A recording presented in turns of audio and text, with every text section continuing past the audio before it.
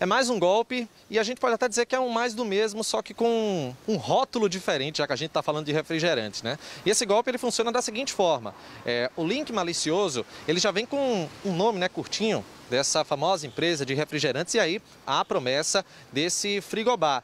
E para isso, né, para tentar ludibriar né, a vítima, são feitas três perguntas simples sobre preferência do tipo de refrigerante, é, se prefere uma versão light ou uma versão normal, como, como a gente fala, e onde seria colocado esse frigobar.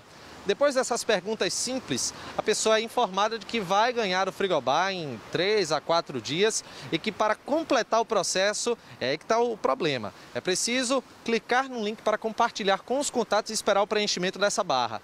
E aí eu vou conversar com o Giovanni Santoro, chefe de comunicação da Polícia Federal, para ele explicar para a gente que é exatamente nesse momento, Giovanni, que nesse preenchimento da barra que o programa malicioso é instalado no celular e onde acontece todo o problema, né? Boa tarde. Boa tarde, Renato, Fábio no estúdio, a todos que nos assistem. Esse é o problema, porque quando a barra ela é preenchida, instala-se um programa espião no celular ou no computador da pessoa e esse programa vai ter acesso a todas as informações que você fizer no seu celular digitando no teclado, como senhas de banco, número de conta corrente, número de cartão de crédito, número de benefícios e com essas informações eles podem fazer uma devassa na vida financeira das pessoas. E mais, Renato, pode até haver um programa desse que bloqueie totalmente o aparelho, você não pode mais acessá-lo. Fica só aparecendo na tela a solicitação de um código, que esse código é quando você deposita um valor em Bytecoins, que é uma moeda virtual, na qual esses bandidos fornecem para você o código, a fim de que você possa colocar o código e desbloquear o celular. Então tem que tomar muito cuidado. É aquela situação, né? Porque a gente está falando do, do, do, risco do golpe financeiro,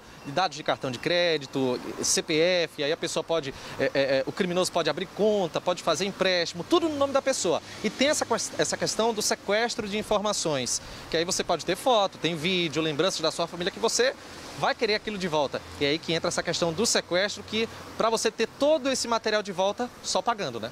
Exato, e os valores são valores realmente exorbitantes, né? Em média é 500 dólares, porque eles cobram sempre em dólares, por moeda estrangeira, para poder comprar essas bitcoins para eles fornecer o código. Então é necessário tomar muito cuidado e aquelas dicas de segurança que a gente sempre dá, Renato, né? Então tem que tomar cuidado com esses links, não clicar nele de forma nenhuma, averiguar na site oficial da empresa se eles estão oferecendo as promoções, se a pessoa for lá ver, ver que, a, que essa empresa de refrigerante não está fornecendo esse tipo de frigobar nem facilidade, jamais compartilhar esse link com seus contatos, porque se você faz isso, você é vítima do golpe e está colocando outras pessoas no processo, inclusive até seus parentes, seus amigos.